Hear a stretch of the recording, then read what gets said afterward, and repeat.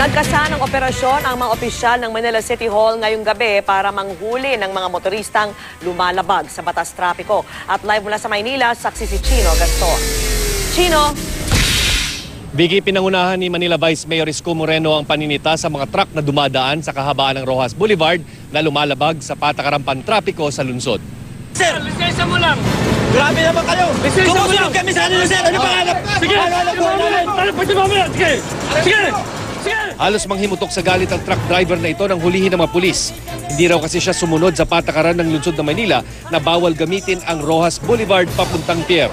Dahil sa pagmamatigas ng driver at pilit niyang pinauusad ang truck, kahit pa may nakaharang ng mga pulis, bumunot na ng baril ang mga alagad ng batas. Kalaunay kumalma rin ang sitwasyon at tinikita ng driver.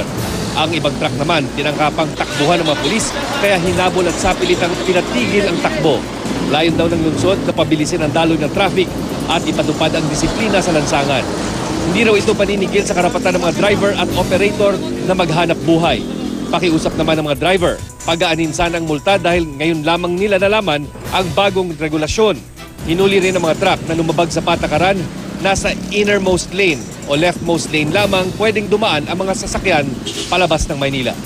Nainuli ho kami, eh, kami humihingi lang naman ng kahit na mababang violation. Kung kami man ay nagka, nagka, nagkaroon ng kaunting violation, eh babaan naman. Ang amin lamang po, disiplina. Wala po kami ibang hinangad, kundi maisaayos ang nabubulok na Maynila. Bigyan mga nahuling ah, truck driver ay ah, humaharap sa multang 5,000 pesos at impounding ng kanilang mga minamanehong truck. At live mula rito sa lungsod ng Maynila, ako si Chino Gaston ang inyong saksi.